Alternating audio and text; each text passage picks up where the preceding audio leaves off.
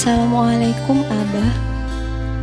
Jauh kenangan mengantar Kiki kembali mengingat Masa di mana Kiki kecil dulu. Masih Kiki ingat pelukan hangat dan tawa bangga Abah. Setiap kali Kiki menuntut manja kasih sayang dari Abah.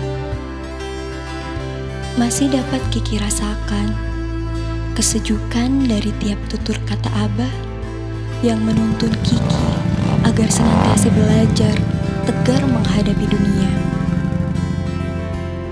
Abah adalah ayah terbaik dan lelaki mulia yang tak pernah meminta balasan apa pun dari semua yang telah Abah berikan. Abah adalah ayah terbaik dan lelaki mulia yang selalu ada untuk anak-anak Abah. Apa yang bisa Kiki beri untuk Abah? Hanya doa agar Allah Subhanahu wa taala senantiasa melindungi Abah atas segala langkah yang Abah tapak untuk kami, keluargamu.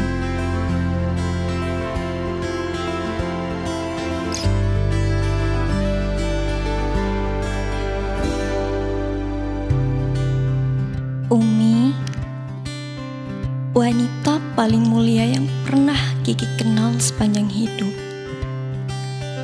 Tersipu merekah hati Kiki saat mengingat setiap pengabdianmu sebagai ibu untuk putri-putrimu ini. Umi adalah madrasah dan surga yang akan Kiki junjung namanya sampai langit. Malu rasanya Kiki hanya bisa mengucap terima kasih atas cinta dan kasih sayang Umi selama ini. Umiku sayang dunia dan surgaku.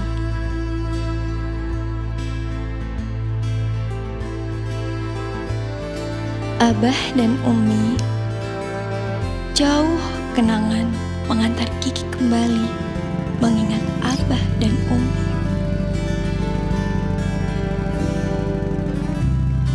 Kini, tiba waktu Kiki untuk melangkah mengarungi dunia dengan bekal agama dan adab yang Abah dan Umi berikan selama ini.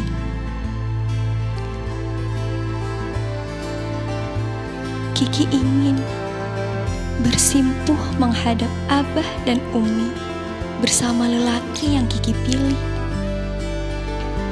Izinkan restu Abah dan Umi mengalir dalam nadi kami berdua. Tidak untuk yang lain, kecuali untuk mendapat berkah Allah Subhanahu wa Ta'ala dalam jalinan cinta yang kami ikat dengan sumpah setia.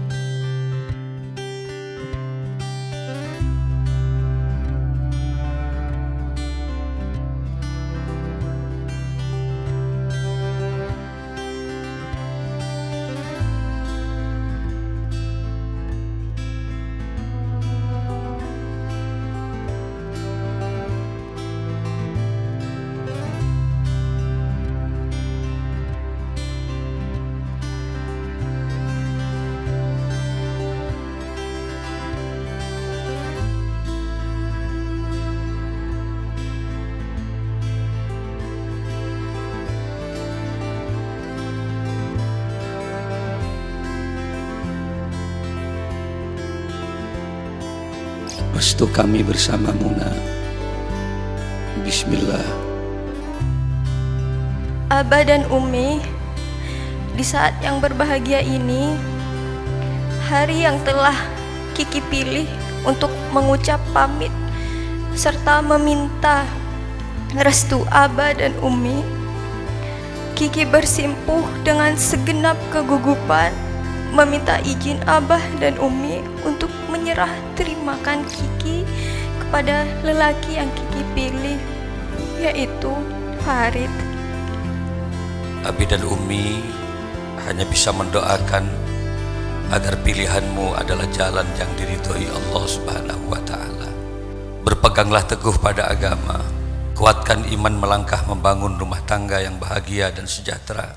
Sakinah mawaddah dan warahmah bagimu anakku uzawwijuka ala ma amarallahu bih min imsakin bima'rufin aw tasrihin bi ihsan ya Muhammad Nur Rahim Dawi Dwi Fardianto bin Mashhuri angkahtuka wa zawwajtuka makhtubataka binti Zakiyatur Rahmaniyah Khalidiyah bimahri sab'imi'ati alafi rubiyatin wa sittata asyara fasfilatis ati giraman minal zahab wa adawati salati halan.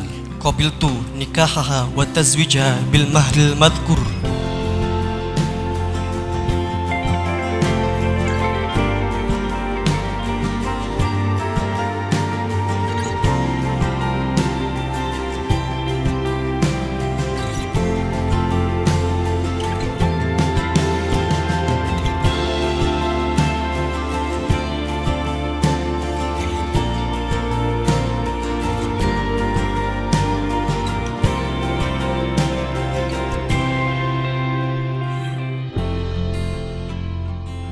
Mudah-mudahan kental ketemu kental menjadi istilah Madura kental.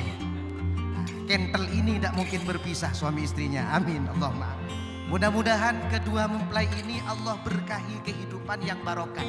Hidupnya barokah, keluarganya barokah. Karena dengan modal barokahlah untuk mengantarkan manusia akan menjadi kehidupan yang sakinah, mawaddah warahmah